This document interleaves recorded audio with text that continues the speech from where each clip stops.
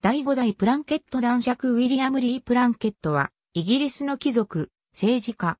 1904年から1910年にかけて、ニュージーランド総督を務めた。1864年12月19日、第4代プランケット男爵、ウィリアム・プランケットとその妻アンリー・プランケットの間の長男として生まれる。ハーロー校を経て、ダブリン大学トリニティカレッジを卒業。1897年4月に父の死により爵位を継承し、貴族院議員に列した。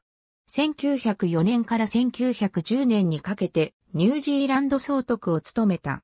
トラビー・キングの初期の活動を支援して、プランケット協会として自分の名前を使うことを許した。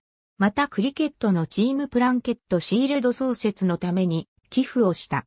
1920年1月24日に死去。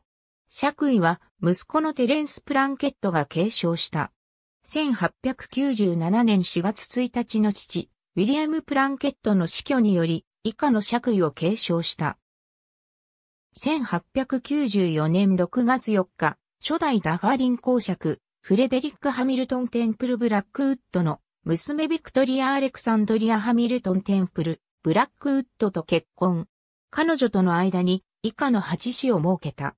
ありがとうございます。